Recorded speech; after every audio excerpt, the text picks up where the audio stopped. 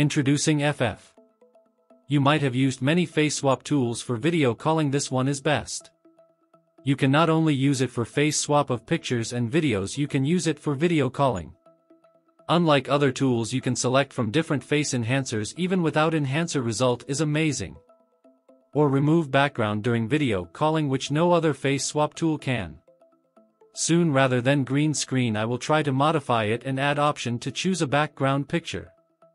You can choose if you want to use it for face swap or just simply as your cam with enhancers and without background. This give you a tool which you can simply use for calling after removing background you can check how much of your CPU RAM or VRAM is utilizing to get better idea. Even on low VRAM like mine it's not that bad comparing to similar tools. You can preview swaped face or original in separate windows. And most important thing occlusion option. Everyone I know having a big issue with this finally a tool which you can use with occlusion and CLIP option no matter it's your hand or any object in front of your face by turning on this option it will cover with perfection and with CLIP option you can type prompt and negative prompt to cover this flaw every other tool got. If you are new to my YouTube channel subscribe it and press bell icon to stay updated. Sadly it's on Buy Me Coffee. If you downloaded it well let's see how you can use it.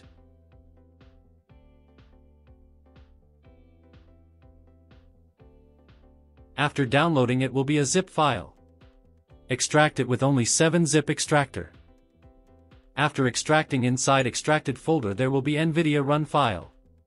Double-click on it to run this you don't need any installation or do anything else.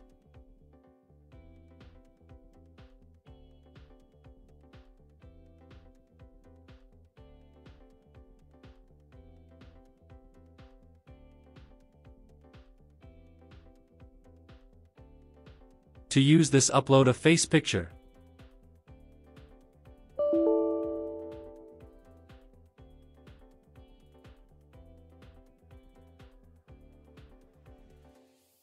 Click on add this video then run from cam I am working on adding cam selection option.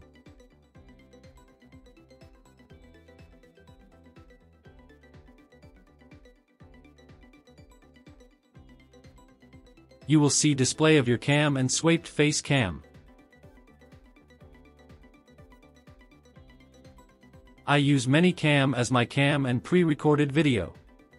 Choose enhancers you want or background it will change it in real time.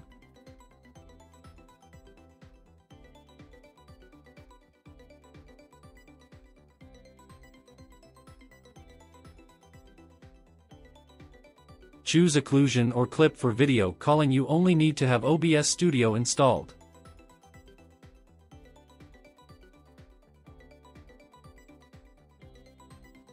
Just choose OBS Virtual Cam as your webcam and have fun.